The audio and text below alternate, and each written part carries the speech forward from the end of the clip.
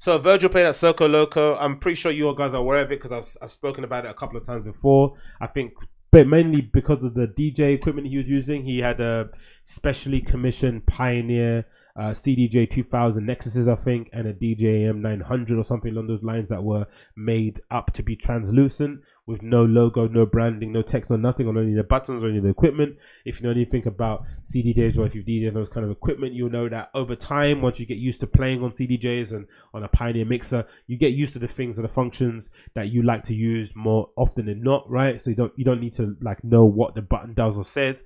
You just kind of know what kind of works out pre-programmed for you. I'm imagining if you're a Virgil, if you're a top DJ, you usually have a rider that specifies the equipment that you need to use, the kind of settings they need to be on for you then to have a good set because there's no time to kind of waste to kind of faff around changing the buttons or putting the cables in the right place and stuff, right? I know that probably is the case. So um this but this kind of set, this DJ set or the, the kind of equipment just looked amazing. It looks like something that I would love to see in the stores. I'm not sure if they are gonna release them. CDJs in general from Pioneer are incredibly, incredibly, incredibly expensive as it is.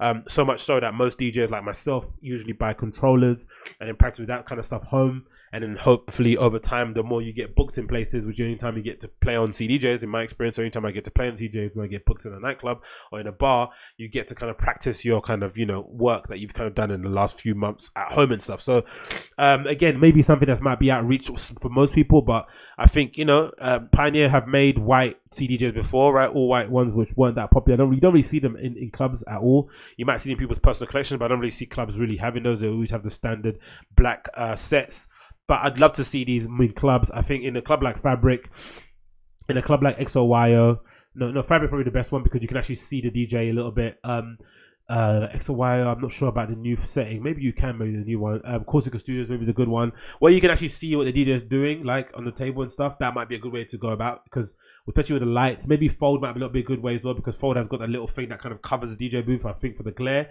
But if you could actually see the decks and see the actual players, it would be quite cool to have in a nightclub having those lights does LEDs light up um, with all the other lights you have into, in your club? I think it would look really cool. But in general, I think it's actually a good, a good motive, a good idea just to kind of play a bit of the video because um, a very influential uh, techno electronic based YouTube channel called Fra 909 who I've kind of followed for years. I think some of the most legendary videos that I've watched that kind of got me in love with electronic music from the video of Richie Hawtin playing on the top of that hotel rooftop party and his vinyl skipping, but him still being a boss. Ricardo Villalobos, the famous Magda I Love Parade video. Loads of kind of staple kind of videos in the techno electronic scene um, Fra 909 has been kind of behind it, and he kind of took a video, and he's always there um, around kind of the key seasons, especially IB for all the key players. I'm pretty sure he's kind of familiar or friendly with some of the promoters, and they allow him kind of unparalleled access really in the DJ booth. Some weeks, so quite rare. A Circoloco and IB probably not because there's always scores of hangers on hanging around in the DJ booth, but for for, for uh, more likely than not, it's still kind of an amazing job that he does, uh, being able to have that kind of level of access to the DJs that he's had access to, and he filmed a little video of Virgil playing and there's not much indication you can tell of whether or not he's good or not, or whether or not he's doing a good job or what it may be called. But I just love the idea, thinking about it, of a kid watching this now. It's kind of like you know how I'm I'm obsessed with Hiroshi Fujiwara. I think you know um, Hiroshi Fujiwara and Aaron Bondaroff are probably the two most foremost people in my head, and maybe James Jebbia and Nigo, who kind of really framed um, the way that I kind of view my position within streetwear and within culture, and how much influence I would like to garner or I would like to gain um, over the next few years with the projects that I do and the idea of being a creator, the idea of not just being a consumer or the idea of trying to be an active consumer, somebody is trying to kind of pick away at things that you're buying, really question your buying choices. And when you find something, and when you can't find something that kind of uh, suits your needs, instead of complaining and whining on the internet, make your own version of it, right? That's essentially where, that's essentially the birth of streetwear, right? Um, James Jebbia coming up and kind of, an, and even um, Shawn Stussy prior to him, right? Uh, deciding that he wanted to, make uh, surfwear a particular way because he didn't like the stuff that was on the market at the, at the moment. That was a bit naff, that was a bit trite, and then coming out with your own brand in, ter- in order to kind of carve your own lane of the market. I think that's kind of the best way to go about things, right? The complaining and the whining about stuff isn't really the best way, in my opinion. So, um, it's quite cool to see Virgil doing what he's doing with the DJing. The fact that he's challenging himself and putting himself in these weird and compromising positions, um, in a position where he's surrounded by people who are 10, 15 years in the game. Martinez brothers are young, but they've been DJing since they were like, what, six years old or some shit. Seth Troxler has been in and around music his whole life. He comes from a long line of musical uh, family, right? I think his parents both played instruments or in bands. His dad had a record shop or something like that. Really, really people that have real strong histories in music and electronic space, playing in Circoloco, which is a very unforgiving crowd, right? Um, people that just want to see bangers and big name DJs to put himself in that in harm's way is something that kind of really does re- give you have to give him a lot of respect for. And I think over time we've kind of seen an improvement because I think again with his celebrity or with his name, I think there is a part of it that is mostly based around, you know, him being able to attract a certain crowd. But I think over time, that kind of that kind of stuff loses its value and then your skills become something that's of ma- major importance. And i think the fact that he's able to kind of go in there because i think i saw i saw some pictures of some Circoloco off-white merch which again is a really great tie-in. So the fact that he's able to go in there provide them with merch provide them with some very varying level of clout they probably don't need it right? Because they've, they've got a long history. Anyway they probably have people that go to Circoloco regardless of the lineup and they book it year in year out. But you know he's able to give them some added merch some added clout in the fashion game bring in a whole different audience and just provide another flavor of what you're going to play which is what i always say about female djs it's not that you just need parity on the lineup. What you want is that you want the lineup to reflect the audience right? So sometimes just having a woman on the stage brings a different kind of feel and, and vibe to the overall room. And sometimes just having the same kind of male voices or even female voices can sometimes make it a bit naff. So that kind of democratization of the DJing or maybe inviting new people is something that's very much I'm a fan of. And I just think for the kid out there watching this video for the first time and seeing Virgil play at Circoloco, it must be super, super inspiring, man. I reckon so.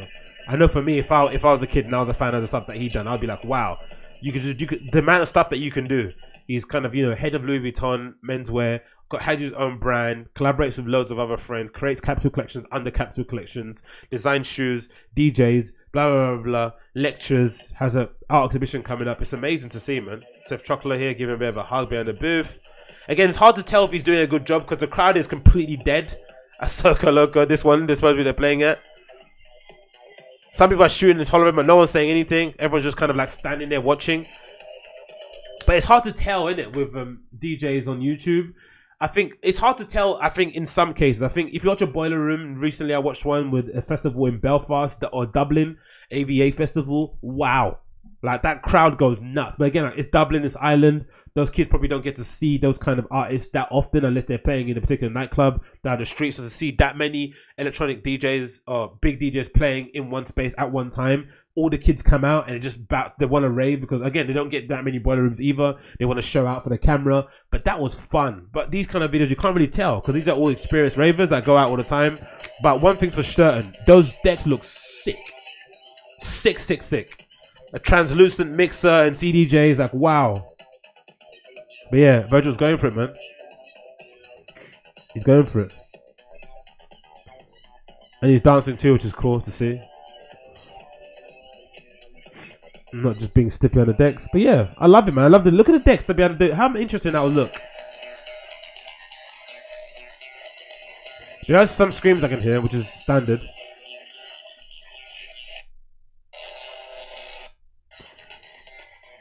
But yeah, it looks quite cool. It looks good, man. You can't again, you can't really tell too much about this. So it's hard to judge. I think um, watching DJs on YouTube is similar to that quote about dancing into ar- architecture, right? It's just I don't know, man. It's hard. I think you need context. I think once you've been to a boiler room, once you've been to a Circoloco, then you watch a video, it kind of brings it to life more so than just watching it like this. It just feels a bit, it feels a bit naff. It feels a bit try hardy. Um, not try hard. It just feels a bit naff, right? I don't know because you're not there. You can't really get can't really get with it. I think once you've been to one, you kind of see it. I think for what it is. But again, as a, again as a set, I just I just visually just look at it. It's fucking awesome. I love it.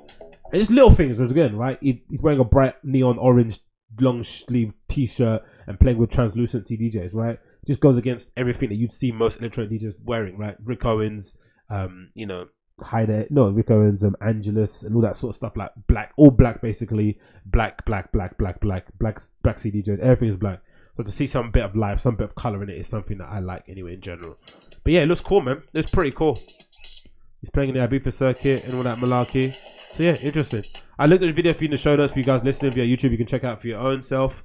But yeah, it's fairly fairly interesting to see the, uh, Virgil in that kind of space actually, because again, you wouldn't you wouldn't have thought that when you first started DJing, it? It was, it didn't look too promising. But again, as you see, as you see, the more t- often you do something, the more you're put in these uncompromising positions where you have nothing to do. You have nothing else.